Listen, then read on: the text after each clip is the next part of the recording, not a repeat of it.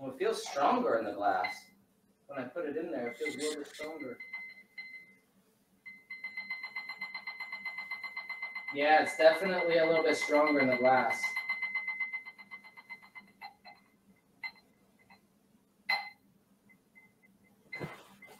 At least it feels that way. I don't know. It's hard to tell. It just feels that way.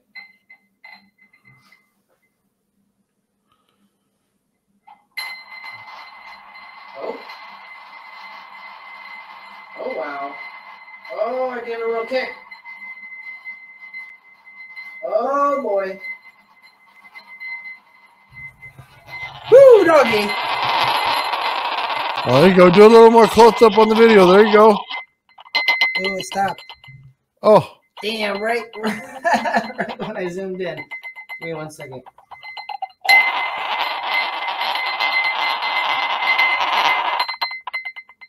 So yeah, it's probably just got not enough power, but yeah, it's spinning. your It's- balls are just too big for the coil there, Ben. Yeah, I got my balls are too big.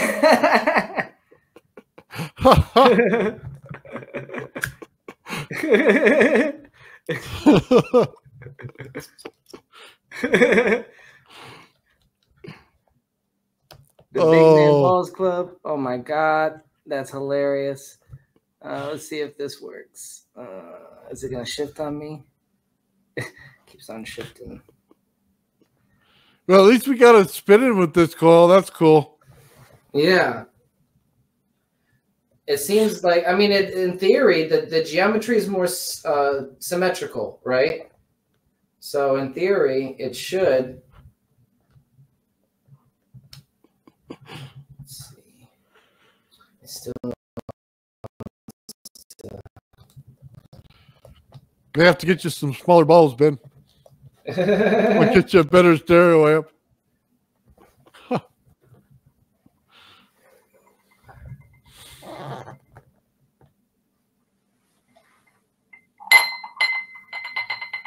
There we go. It's going. Oh, I like that. That's Oh, wow. awesome. oh boy! Oh, Oh, what did I start Ben. here? What did I start here? Oh, move the camera. There you go. Nice.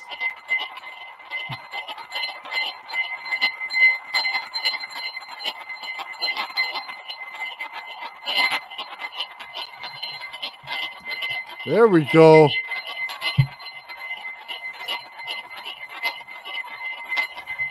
I'm gonna adjust the uh the treble because it's all the way up. I'm gonna see if that maybe enhances it any.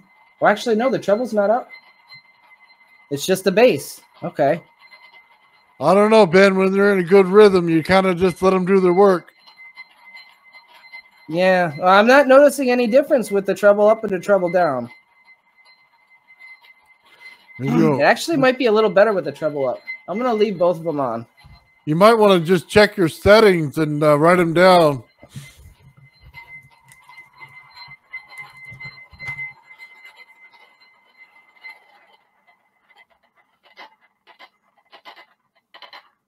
Oh no, you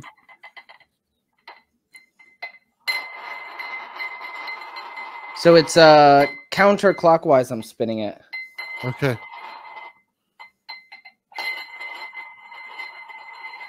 There you go.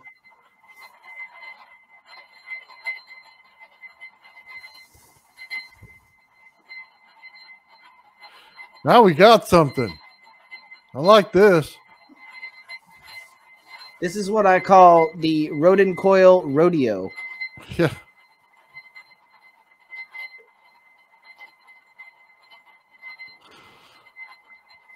So it's not fast enough, or it doesn't have enough juice to actually synchronize, though, which is unfortunate.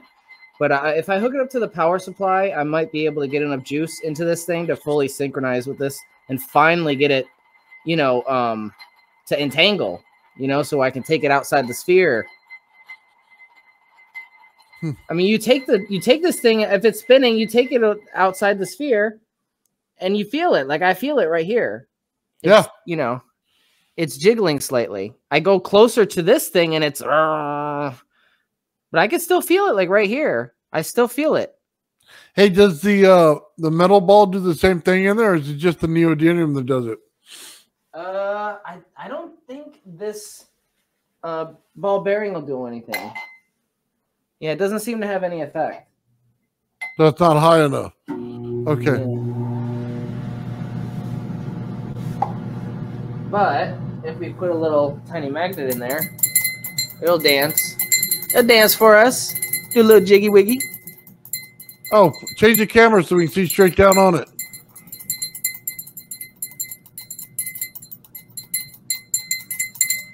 It might actually flip out of this glass. What's cool is the way it's changing angles on you. yeah. Oh, oh, did it flip out? Yeah, it flipped out. Oh, It's actually inside the door right now. You see it on the bottom. And uh, just a, a little tip for everybody. I like to put like a little, uh, you know, uh, pan cozy on the bottom of whatever I'm putting the Rodin coil on, just so it gives it a little uh, protection and comfort, so you don't scratch anything.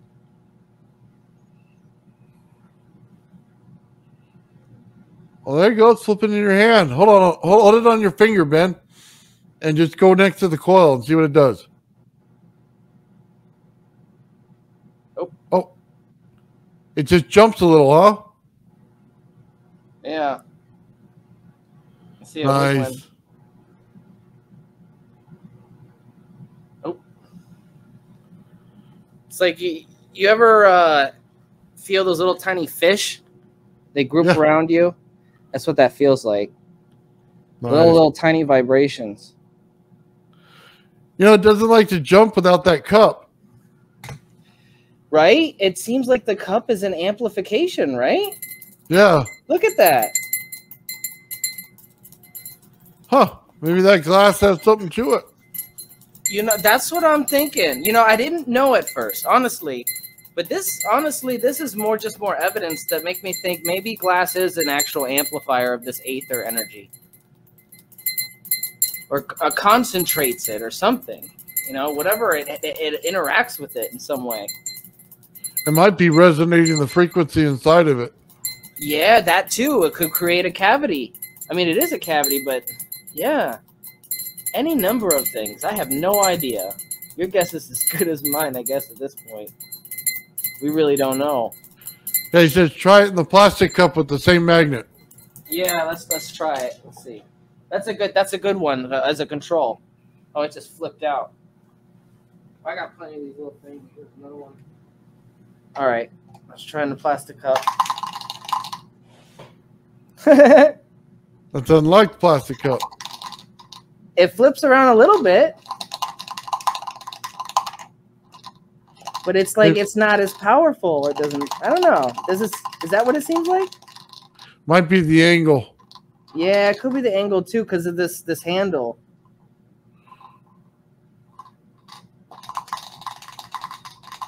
I'm not like I'm I'm shaking it to, to get it to do this.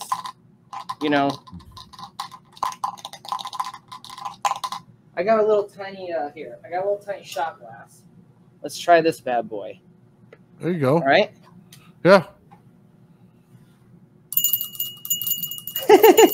wow! Look at it go! Huh. Look at it go. I don't have to wiggle it or nothing. Dude, Nathan, this might be something. This might be something. Oh, it just because it got too low in the, the coil or the wrong angle. I don't know. Uh, it just it seems like it's more powerful though. Oh, that's cool. Well, I guess there's a reason why we see, uh, you know, like Jack Scholes and uh, Daniel Nunez do those uh, experiments with synchronicity with glass. I'm always, I always see them holding the glass, uh, not no other kind of uh, container. Well, that's cool. Yeah, if you guys ever do this um, experiment with the neodymium sphere, please, please, please wear safety glasses and at least uh, thick gloves. Um, because when you start spinning really fast, like mine isn't spinning really fast right now. Um, but if it was spinning really fast, I put on my thick gloves just because sometimes these these glass containers can chip.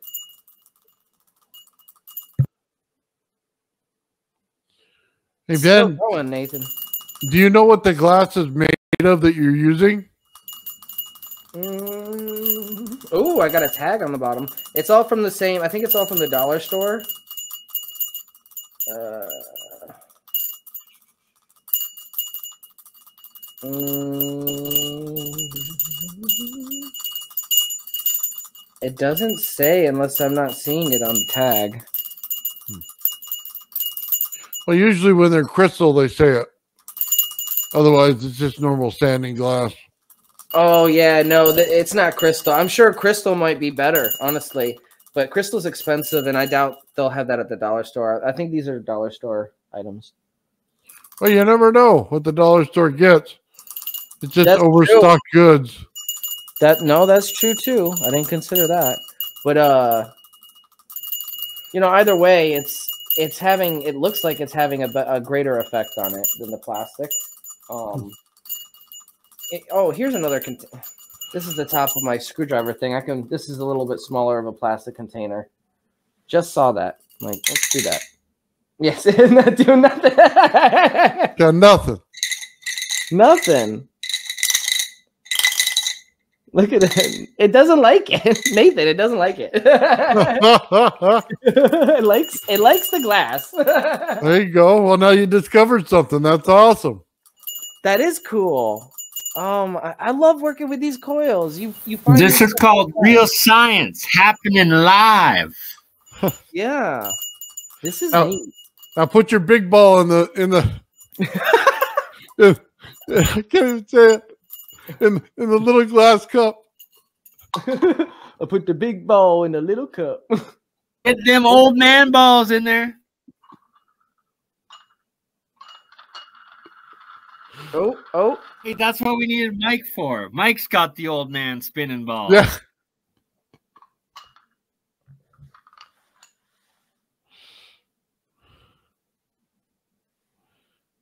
It's doing a little dance. I, I don't think it. Let me put it down on something because I don't think it's high enough. Like it needs to be inside the torus, not on the bottom. Okay. There it is.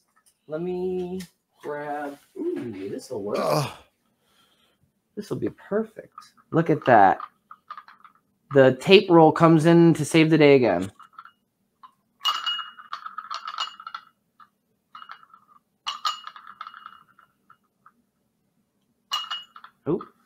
Get steady. There we go.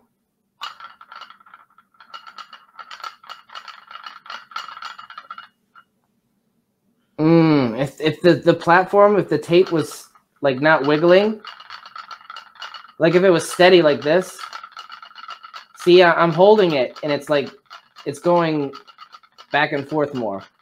But as soon as I let go and give it that that freedom to move around more, Huh. it needs to have something real steady to hold it.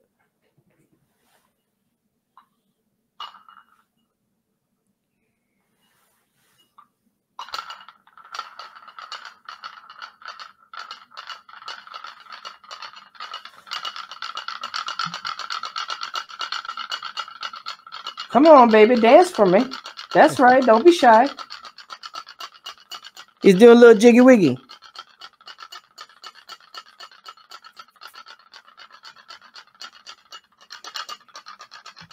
And this is all using the Schumann resonance, 7.83. I believe the Schumann resonance, though, is a range. Doesn't it fluctuate? You're gonna know better than I do right now, Ben.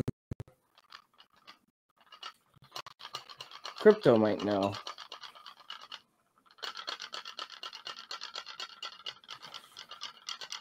You say Schumann, are you saying shaman or are you saying Schumann? Schumann. A person. Yeah. The the Schumann cavity is the um cavity, the magnetic field around the Earth. So I I use seven. Yeah, I I use seven point eight three, but I think it's a range that fluctuates between a, a small area around there. So I mean, maybe switching it depending on the time of the year, perhaps. Hmm. I'm gonna try switching it though to Let's lower it to 7.8.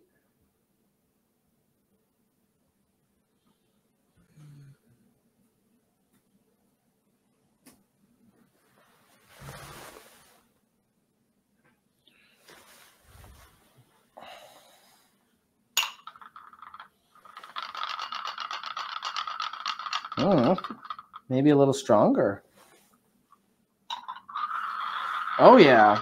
Oh yeah, definitely stronger.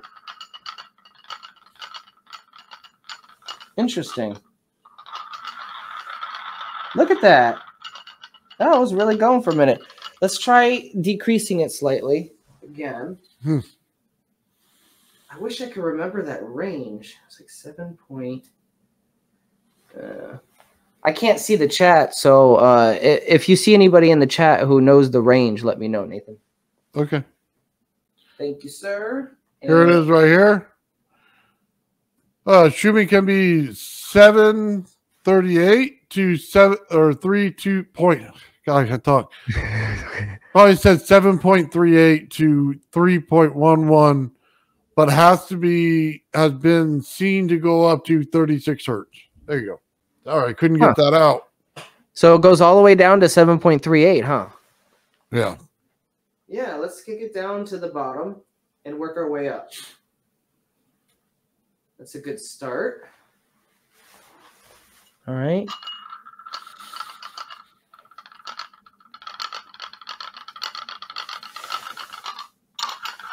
Mm, doesn't seem to be in that range where it was spinning real, real nice.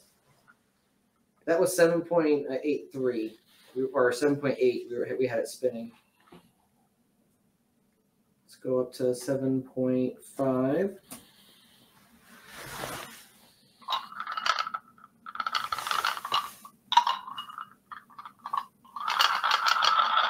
Mm, started to spin a little bit.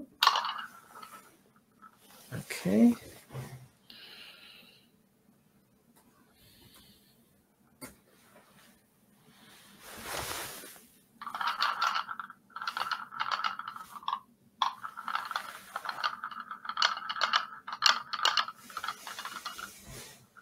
Seven point seven. Let's go up to eight.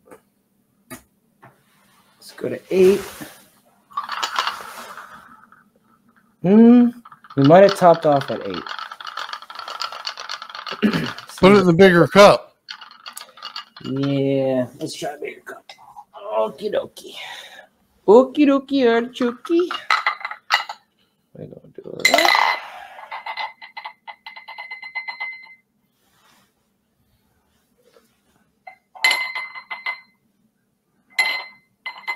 Okay, so we're at eight. Let's go back down to 7.8. We saw it. Kind of go a little bit faster. Oh, oh yeah. Oh yeah. There you go. You just needed your balls cupped pro- properly.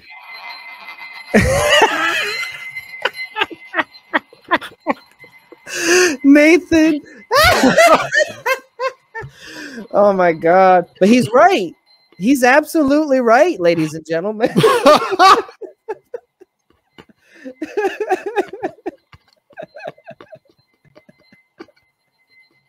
Look at that thing. It's still going. Oh, I love it. Nice. Come on.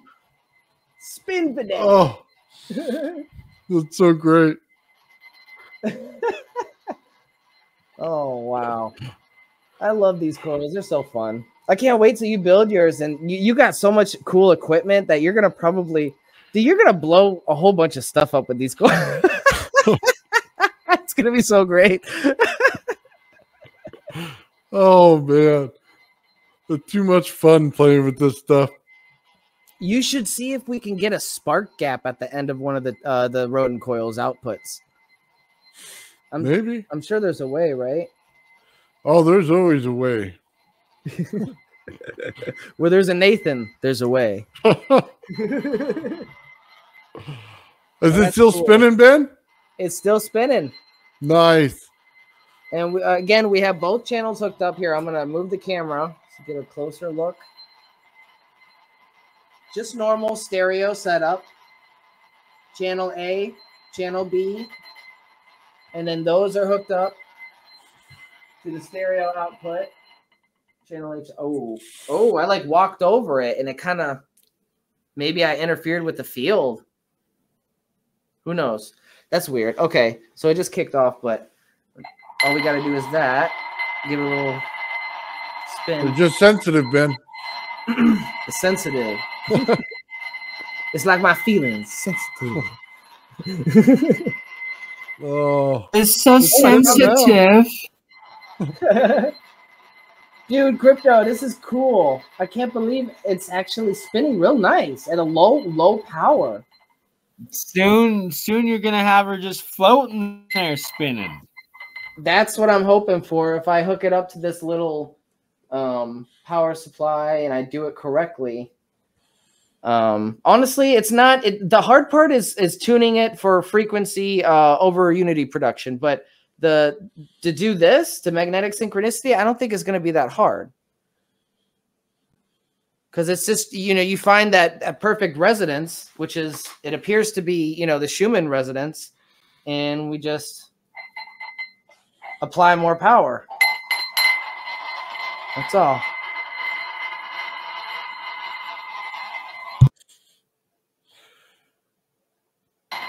yeah, Ben. Make sure you're careful how you cup your balls. Make sure they're in the correct cup. Oh, that's so great.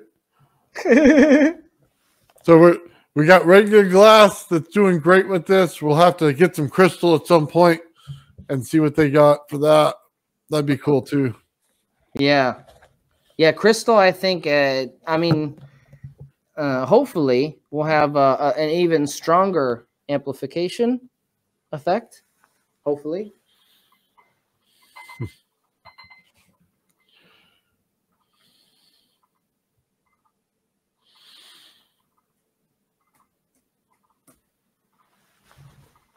Okay. Oh, did not change. Changing it back to 7.3. It was at 7.8 hertz. Changing it back to 7.83. I think that's going to be our sweet spot, to be honest. It's always been my go to number for any of these uh, tests.